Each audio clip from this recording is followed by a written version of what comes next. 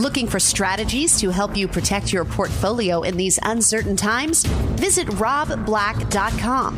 robblack.com, powered by EP Wealth. So let's just jump straight into things today. It's going to be an interesting tomorrow, less so today. That doesn't mean we don't have to pay attention today. We could do a little bit of learning. For the year, the NASDAQ's up 11.9%. Again, we're not quite halfway through the year. So we still have another month plus a week. That's a pretty good return.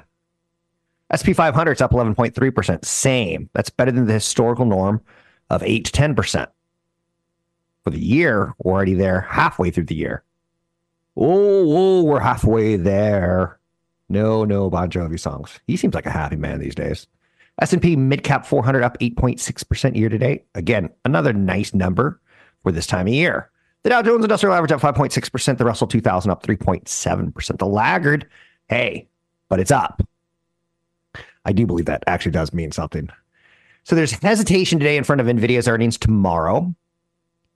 And also, we get Target's numbers tomorrow. More on that in just a second, because I think Target and Walmart are trying to tell us something. There's a mixed reaction today from Lowe's and Macy's. They're higher on earnings results. Palo Alto Networks and Zoom are lower. There is concern about CEO Jamie Dimon of JP Morgan leaving the company and retiring. And also, he said yesterday, we're not going to buy back a lot of stock right now. Stock's had a big 70% run. He's been pretty prescient about his company and where they are. Um, he's got a good pulse on the world economy, a good pulse on the U.S. economy, and a good pulse on his own company. There's an expectation consolidation activity after major run in the indices. We hit April lows, but again, we were up November, December, January, February, March. Then we hit some April lows, and now May, right back to record highs. There's upcoming more Memorial Day weekend. There's a phrase that says sell in May and go away. That is absolutely positively not what I'm doing this year, as I expect more gains in the summertime months. Chip maker, chip equipment maker is the right way of saying it. Lam Research provided its shareholders with something new a $10 billion share buyback authorization, a 10 for 1 stock split. The potential pending Trump administration are starting to lay out economic plans. One of the things they're talking about is eliminating stock buybacks. I would not like that. And if there's maybe 10 things you vote for, whether it be inflation or um, you know what, what we're doing overseas with with wars. Most people vote with the economy and what they think is is the right direction and or not. But again, um, unemployment's not the problem, but affording groceries is the problem. There's a lot to think about with the upcoming elections, no doubt about it. Stocks are wobbling today. Again, we just hit all time record highs, so we should wobble. Fed Governor Christopher Waller said he wants to see several months of supportive inflation data before lowering rates. Boo, boo. Now he wants to see inflation under control and not going higher for several months. Several to me is three to five. That takes us basically to the end of the year. Cassettes tapes are back in style. Taylor Swift's The Tortured Poets Department sold 1.6 million physical units in the first week. 859,000 units of vinyl, 760,000 CDs, 21,000 cassette tapes. Now, I'm surprised vinyl's that popular. Again, I'm not hip, I'm not cool, I'm not even one of a kind. But vinyl is beating CDs. And again, this is all great until those physical copies, especially cassette tapes, start to unwind and a break. You're like, I love music streaming. Millennials are most likely to be the quiet vacationing types. Nearly four in 10 say they've taken time off without communicating it to their manager. Some are moving their mouths, mouses automatically throughout the day. Some are setting up little robots to, to move the mouse around so it looks like they're moving. Oh, that's funny, isn't it? Scarlett Johansson says OpenAI stole her voice. ChatGPT Sky Voice is eerily similar. She was the voice of the artificial intelligence assistant in 2013 movie Her. Bit of sadness. Gray divorce rates have doubled for those over 50 and tripled for those over 65 plus. One in seven Generation Z credit card users are maxed out. That's not great for the future. 15.3% Generation Z, 4.8% baby boomers, 9.6% Gen Xers. Americans are going into debt to buy groceries. The average cost of groceries are $5,700 a month. That works out uh, $5,700 a year. That works out to about $475 per month. Last year, inflation was up about 5% in food costs. Grocery prices shot up bigly in 2021, so they're slowing down, but we still remain with the higher elevated costs. 70% of all grocery transactions are through credit cards or debit cards. 33% of adults who used a credit card for groceries repaid the charges in full. That means 66% didn't. 20% of adults paid less than the full. Wow.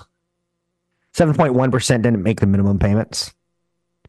Credit card rates average 22.8%. So there's a, a, a term, I know you've heard it food insecurity. It's starting to spread. It's definitely not just for homeless people. It's starting to spread to lower incomes and middle incomes. Especially if you're doing something foolish like using payday loans or buy now, pay later programs to cover your basic food costs, you're eventually going to slip into your savings or your credit cards and pay more. It's it's tragic what you're going to lose. So I was talking a little bit about one of the big fights that is brewing right here, right now, and it's the fight between Target and the fight between Walmart. Target said they're going to be slashing prices on up to 5,000 items through the summer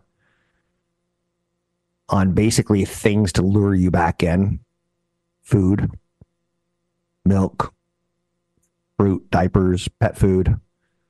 Clorox Prime, Prime, the energy drink from YouTuber Logan Paul. Target says it intends to collectively save consumers millions. Target and Walmart both were opened up in 1962. They've been going head to head against each other ever since. And they're both battling the scourge of inflation. On Monday, big box retailer Target lowered uh, prices on 1,500 grocery items. Now they're going to lower prices on 5,000 more, trying to keep pace with Walmart, keep people coming in, keep the cash flow servicing Target versus servicing Walmart. Target reports its earnings on Wednesday company has surpassed earnings expectations in the last five straight quarters, but they've seen revenue decrease One. and expected to decrease another three to five percent in the first quarter. So consumers are becoming more particular with their spending habits. We've heard out of McDonald's, Starbucks, Home Depot that they're cutting back. That consumers are cutting back on frappuccinos, renovations, and Happy Meals. They're still selling out for Sweetgreen veggie bowls and international flights on Delta at an impressive rate. So we're not completely struggling. Target will give us a good insight into the consumer tomorrow. NVIDIA will give us a good sight into AI and is the tech boom justified? You're listening to me, Rob Black, on The Rob Black Show. Find me online at robblackshow.com. YouTube, my favorite way of communicating with you It's a little more visual if you know what I'm saying. Rob Black Show. Subscribe. Be my friend. Find me online at robblackshow.com. What's the best way to choose a financial advisor? Download our guide at robblack.com. That's robblack.com. Powered by EP Wealth. I'm Rob Black, talking all things financial. Thank you for listening to the show. I am quietly thinking about retirement at some point I'm now at that age where I can afford to retire, spend more time with the family, slow down, take longer vacations. But I still kind of want to work. I've not figured out what I'm going to do after retirement. So I still kind of want to work. Um, I have to work at least another 18 months. Then maybe do I go more part time? Do I go more broadcasting? I haven't really thought that one out yet. Well, we all have a retirement plan, whether we want it or not. We all have an estate plan, whether we want it or not. My brother Clint worked into his 60s, thought he wanted to retire, still had to work, and ultimately found that there was a lot of age discrimination that kind of messed up his ideas. He is a computer science type. He worked in Saudi Arabia in the oil fields, finding oil with analytical analysis. He is that kind of soul where he loves the Middle East and he loves anything that's 2,000 years old, whether they be ruins or old cities or deserts or, I don't know, arrowheads, things like that, right? I know 2000 is probably too much to say for that.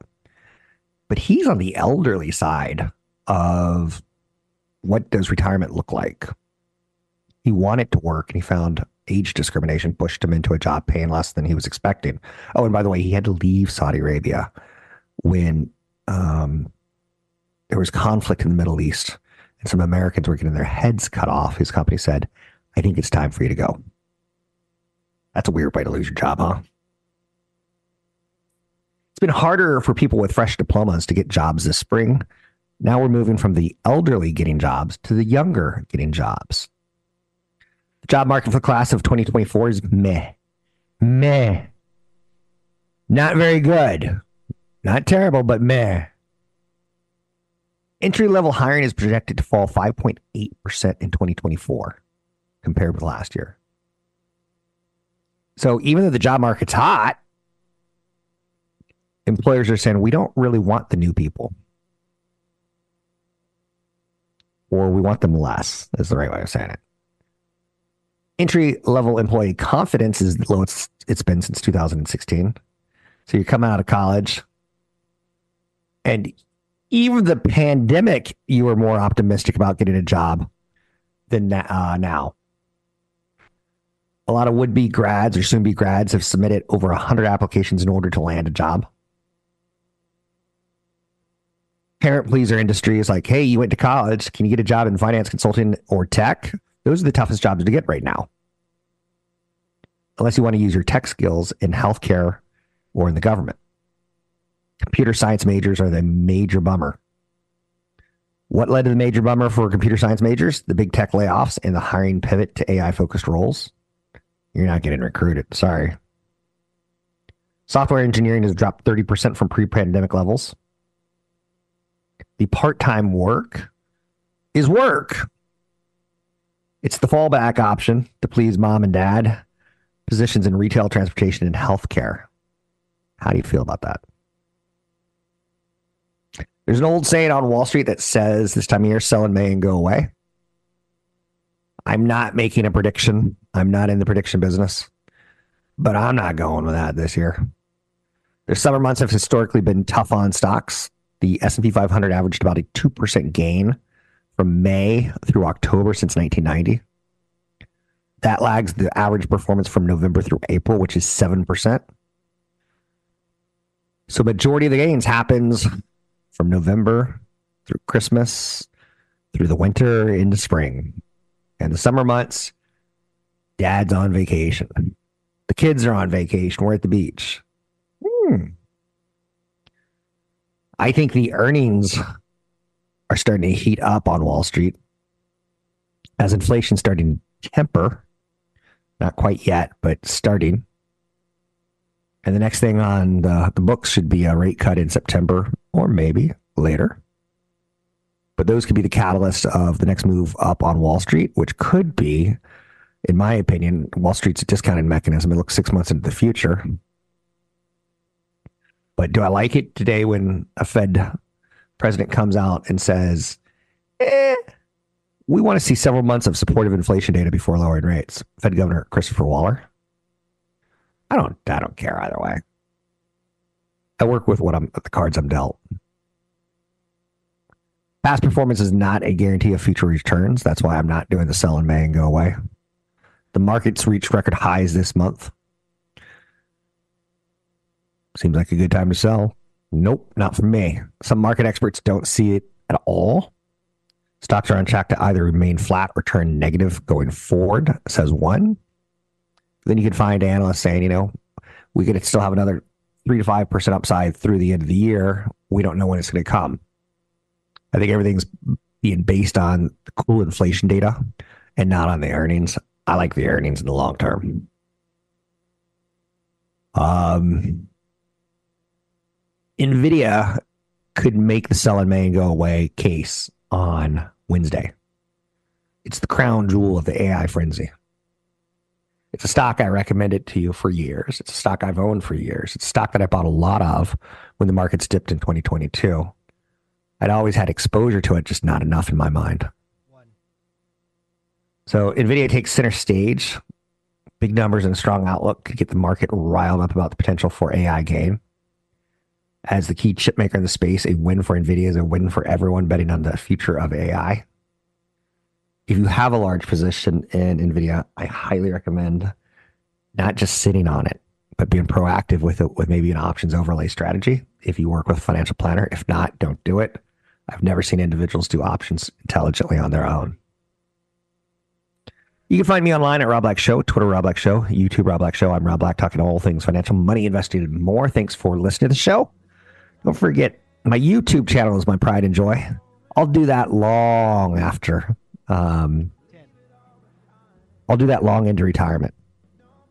You can find me online at Rob Black Show, Twitter Rob Black Show, YouTube Rob Black Show. Big event coming up in June, a Pints and Portfolio. Check it out. Have a beer with me. I'm Rob Black. Brought to you by EP Wealth. This is the Rob Black Show. I'm always wildly proud of dads who make their kids listen to the show while they're driving them to school. I can't imagine any reasonable mother would let their kids listen to this as they get ready for school. But the dads who are saying, like, hey, try to get one or two concepts here or there. I would much rather teach you how to fish than give you a fish. Um, sometimes the content's not going to hit kids at all, but sometimes it will.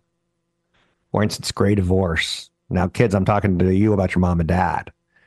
Those rates have doubled for those over 50 and tripled for those over 65. It is the largest percentage of divorces in the United States, people over 50. And the numbers get even scarier when you hit 65. Not trying to scare you, just saying there's a lot of financial ramifications when this happens. Divorce rarely is a good thing. Severe consequences, especially for older Americans. Splitting financial assets becomes a lot more cumbersome when individuals have spent decades together building businesses, accruing assets, seeing home prices go up. Gray divorce can present especially dire consequences for women who report experiencing a 45% drop in their living standards compared to 21% drop for men. Um, I strangely get it. And I'm just trying to throw as much out there for you to see what sticks as far as what do you want to learn. Um, stock I do not understand, and I will admit I do not understand it. Let's see if you can guess what it is. I bet you could if you thought about it. I'm a fundamental guy. Let's start. Let me cheat by giving you some hints. I like seeing good revenues. I like seeing good earnings. Margins are impressive to me. I like to see sales growing quarter to quarter, year over year. I like to see good management teams who've succeeded before who have worked through good economies and bad economies. I see you, pandemic. I see you, recession. I've, I've worked through one of those. I've done this through 25 plus years now. I haven't seen it all, but I've seen numerous recessions and I've seen crazy stuff. You think back to Y2K and it's scaring people. People thought computers were going to stop working. They thought planes were going to fall out of the sky. There was Y2K investments. It's pretty fun. Not funny, but telling. So I think it's it's important to get some experience in this industry so that you feel comfortable with it. And you gotta like be able to say, these are things that I like. I like revenues, I like earnings, I like margins, I like management. I like uh, return on equity, return on investment. I like total addressable market. I like anytime a company could work with 100 million plus consumers or work with enterprises enterprises spend money in good economies and bad economies. Consumers tend to tighten. So, one company that I do not understand, and I should probably write a Dr. Seuss style book of, I do not understand the good. I do not understand the bad. I do not understand the revenue. I do not understand the losses. It's Trump Media down 8% today to $44. I would have bet, if you had me bet, that after its first earnings release, it'd be a $10 stock. I would have been wrong. But the people who are buying it aren't investors. They're speculators on who's going to become president, and they're speculators, uh, not speculators, they're fans of Republicans who want to make America great again. Trump's social media venture has started to a rocky start this year. The company behind Truth Social recorded a $770,000 in revenue, but a net loss of $327 million if drunk uncle were to come up to me at Christmas this year and say, I got a business plan, it's going to lose 700, it's going to make $777,000 in the first quarter. It's going to make $770,000 in the first quarter. Can you leave me some money? I'm like, how much are you going to lose? 327 million. I'm like, nope, not going to happen. Nope. Company brought in 1.1 million in revenue in the same period a year ago, but lost 210 million. So ultimately, in two quarters of the same year, it brought in roughly 1.9 uh, million in revenue, but it lost 540 million dollars. Does it have enough? My question is, you gonna be able to stay in business, drunk uncle? They say they've got a sufficient working capital to fund operations for the foreseeable future. That's not how I invest if that's what you're looking for from me, I'm the wrong guy. Elsewhere, the Affordable Care Act might start getting dental insurance. Good golly. If I, there's one thing I can tell you is teeth are expensive. Failing teeth are expensive. Brush your teeth, floss your teeth. And if you want to do that cactus juice also, good for you. Good for you. Uh, I'm not going to knock you. In a move last month that received little fanfare, the Biden administration finalized a rule that would give states the option of adding adult dental insurance coverage as part of the Affordable Care Act. Under Biden's rule, states have until 2025 to decide whether to mandate that insurers cover dental benefits for adults. I like the idea. You lose a tooth and it has to be extracted, uh, and you want to put in a, uh, a replacement that's a good five, six, seven thousand dollars these days. Ooh. eBay announced today is inaugural re-commerce day to celebrate pre-loved shopping. I'm all for pre-loved shopping.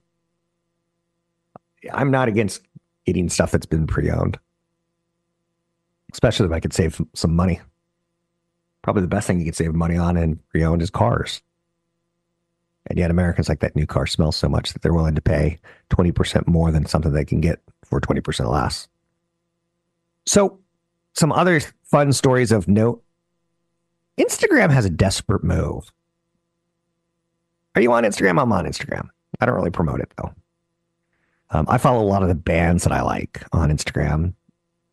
And then I find myself getting caught up in the algorithm. I'm like, oh, that was funny. I might as well follow that. Oh, that was funny. I might as well follow that. Oh, look at that car crash. Might as well follow that. Instagram is having problems with Generation Z fleeing the social media platform. All social media platforms.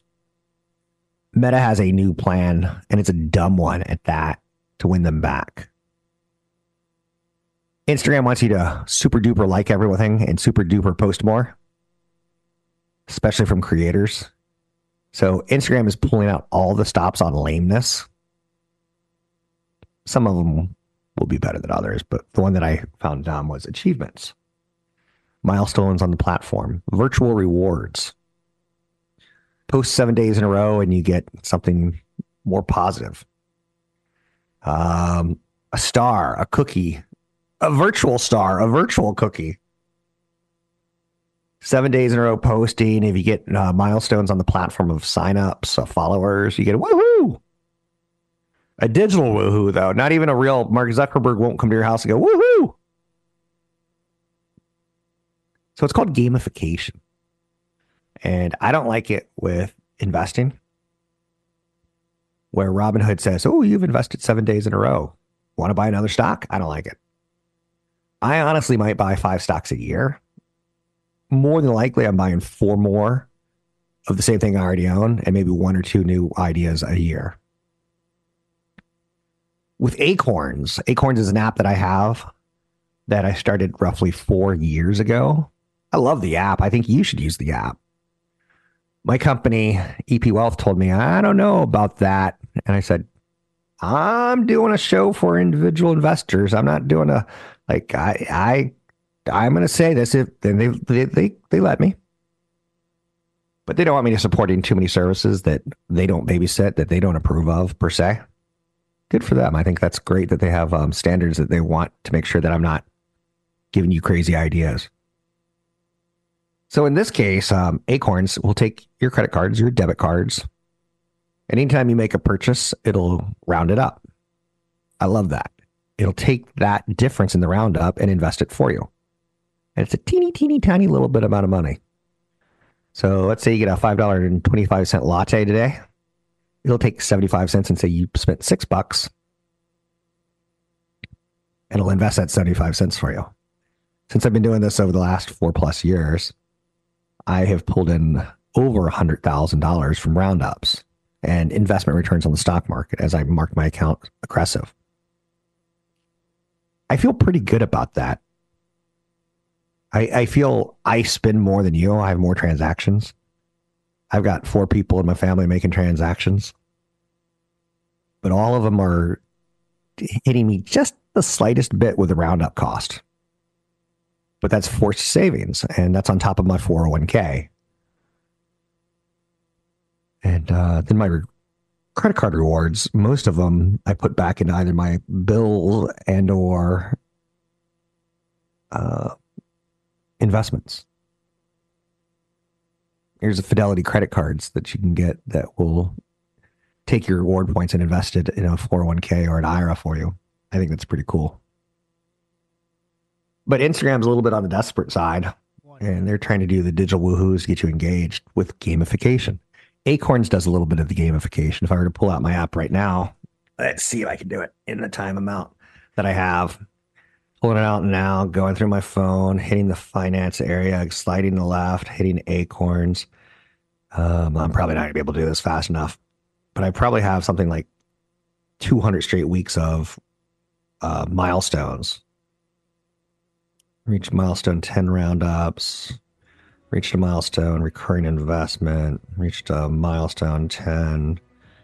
Oh, you get the idea. Um, it sends me little alerts that says, You've invested again. You didn't miss one week in the last 200. Good for you. Gamification of money? Ooh, a little bit yucky to me. You can find me online at Rob Black Show, Twitter Rob Black Show, YouTube Rob Black Show.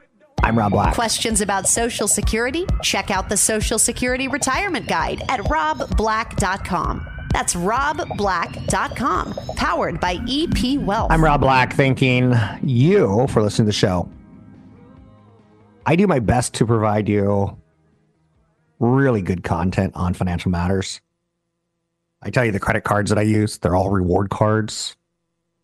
One of them has a big fee on it, but it also gives me $300 in travel credits, free TSA, and three to three percent on travel um, points, as well as one and a half points redeeming. So it, it works out well for me, but it's it's pretty close. I don't know if I pay $450, $500 for a credit card in the future, especially in if you're not going to use the points correctly. I try to tell you things like I have term life insurance from age 20 to 60, and then I have new life insurance. If I die, my kids don't need my income anymore. Um, there's enough in savings and investments to continue to pay for mortgages and colleges and future weddings. I only insure what I can't afford to lose my ability to earn income from age 20 to 60. If I was in a different world and I had a situation where I wasn't making ends meet and I was living with my sister. And I had no loved ones, no animals. I probably wouldn't have life insurance because might, no one needs my income. It's kind of dark how quickly this show can get, right? Talking about gray divorce and how it can destroy women, who I think are goddesses. Sure, men are gods. But I'm pretty darn sure every woman on the planet is a goddess. Um, people are talking about the upcoming elections, and I, I think there's a lot of things that could spell trouble for Biden. Rent and food cost being particularly two of them. People feel rents have gotten out of control and food costs have gotten out of control. So if you're not making 60,000 plus, you're having trouble just living or living at a quality of life that you feel is up to your standards. 50% of Americans are a paycheck away from disaster. The US experienced a 12% increase in homelessness from 2022 to 2023. Rent soared, pandemic resources evaporated. Um, I would have a lot of anxiety if I didn't have my career established. And trust me, where I don't feel bad for you is I worked my butt off in my 20s. Uh, I didn't get married. I didn't settle down. I didn't have a lot of fun. I got ahead because I had this anxiety of I got to do it now. I still have an anxiety of like, do I have enough? And I have, trust me, I have enough, but there's still some anxiety in there. There's a lot of parts of the country that are swing state areas. Sometimes they vote Republican, sometimes they vote Democrat. And rent is an aspect of inflation that concerns a lot of people, as are food costs. Um, it's going to be an interesting election cycle, just in my opinion. Dell said something kind of interesting. They said the AI PC will be pretty standard in 2025. Big winner in this is Qualcomm. I own shares of Qualcomm for disclosure reasons. PC makers unveiled new computers yesterday. Some pretty cool features like upscaling your old photos. So if you had made uh, some photos of your kids with a phone back in 2008, it's probably pretty grainy. You could upscale it and make it look pretty sweet. There's also a scroll back technology that lets you go back in time. And if you were to say, um, show me conversations I've had about closed by, it'll find out on your computer what app you were on, what chat you were involved in, what website you visited, and show you everything on clothes. And you can go back screen by screen by screen. Helpful? Yes. Revolutionary? No. AI? Barely. So NVIDIA is going to be the big story tomorrow afternoon. Target's going to be a big story in the morning. Target's going to give us that consumer vibe. NVIDIA is going to give us the enterprise vibe. And is it spreading in AI to other areas other than just enterprise? If it's just Facebook and Google and Microsoft buying all the AI chips, watch out. Um, a lot of the analysts that I follow have an $1,100 $1,200 price target on NVIDIA. Historically, NVIDIA is actually undervalued right now compared to where it's been in the past going into earnings. Um, it's at a higher level for sure, but their growth has been on a higher level for sure. I also own shares of NVIDIA. And guess what? If it falls 20%, I don't care. It's up 91% this year. If it were to fall 50%, I'd probably buy more. As uh, the stock goes up 100%, 200%, 300%, it's wise to take some off the table so that it's it's the house's money that you're dealing with. I don't expect Nvidia to go up 200% over the next 2 years. I do not. I look at the market cap of the company and I go 2 trillion dollars. How do I see it getting to, to 8 trillion? I don't. Um, although they've done some pretty impressive venture capital investing in companies that will use AI and thus use their services. And they're not just selling chips, they're selling services. So they're selling, if you want access to the chips but don't want to buy the chips, we'll rent it to you. They've also got the software that helps build a lot of the AI technology as part of their core. Their gaming division on GPU is not as important as their AI division. And that's been the big switch in the last five years. For those of you who can go way back with me back to the late 1990s, I had Christopher Knight on my show from the Brady Bunch, Peter, and he was a board member on NVIDIA. And he came into my studio and talked to me for two hours all about Brady Bunch, um, but also about NVIDIA and people like me playing video games. like Doom, like Quake. Anyhow, anyway, it's a pleasure to do the show for you. I'd love to meet you in person. I've got a Pints and Portfolio coming up in June in San Mateo. If you want a portfolio review, that's what it's tied towards. Kind of the people over 50 who are heading towards retirement. Sign up at robblackshow.com. It's a Saturday event early in the day. Sign up at robblackshow.com. That's robblackshow.com. For more information about EP Wealth, visit robblack.com. That's robblack.com.